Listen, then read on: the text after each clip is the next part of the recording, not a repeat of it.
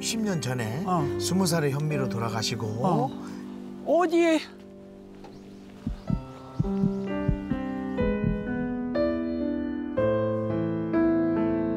정말로 왔어 석훈이가?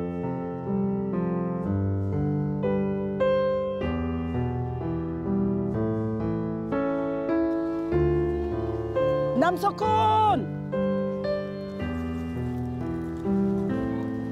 남석훈!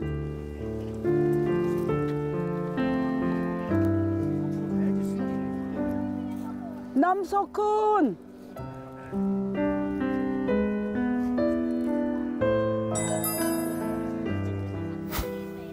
석훈이? 석훈이?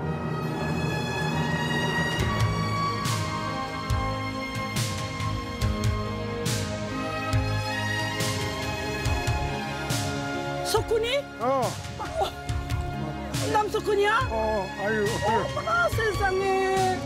어머나 남석훈이야.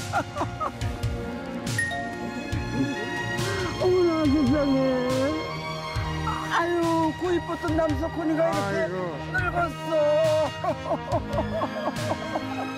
아유 세상에. 아유. 석훈아 석훈아가 돌아서는데? 아유 자기는 나를 계속 TV로 봤지만 나는 걔를 60년 만에 보니까 어머 할아버지가 됐구나. 그때 눈물이 팍 그냥 막 솟치더라고.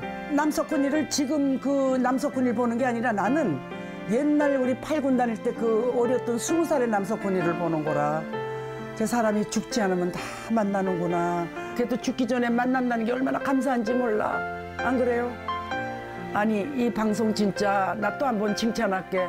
대단한 거예요 이거. 60년 만에 어떻게 사람을 찾냐? 이- 나 다음에 우리 가- 같이 노래하던 김종애 현주 팔군 때 노래하던 꼭 찾아줘. 아, 난꼭 찾을 거야. 죽기 전에 만나야 돼